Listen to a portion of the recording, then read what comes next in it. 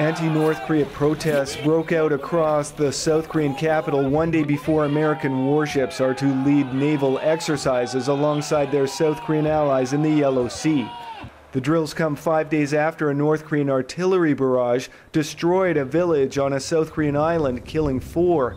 One local official suggested North Korea's repeated warnings against South Korean drills taking place in the region should have been heeded. Following the attack, the mayor of the district in which Yeonpyeong Island is located suggested North Korea may have been provoked by South Korean exercises taking place in the area. Now he's paying the price for comments some South Koreans view as unpatriotic.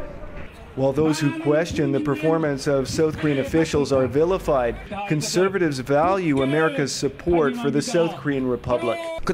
The U.S. is our ally, so in a crisis, it naturally must take part in such exercises with us.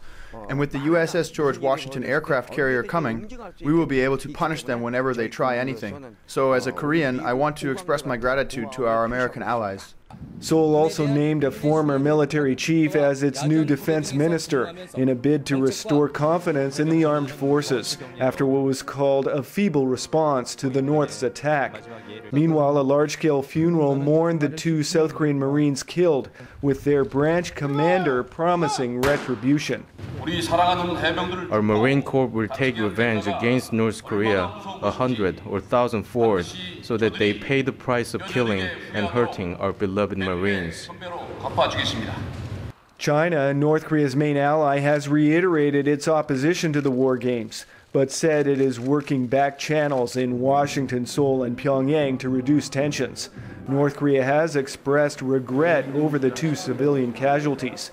North Korea again warned that the U.S. South Korea exercises would increase the chance of armed conflict. The situation on the Korean Peninsula is inching closer to the brink of war due to the reckless plan of those trigger happy elements to again stage war exercises targeted against the DPRK in wake of the grave military provocation they perpetrated against territorial waters of the DPRK side in the West Sea of Korea while staging aggressive Hoguk war maneuvers against the DPRK.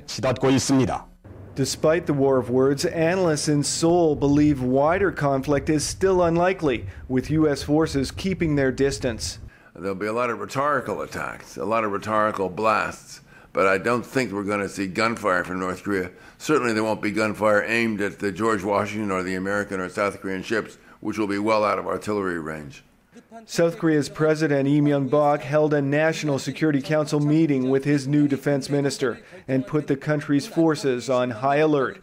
Frank Smith, Press TV, Seoul.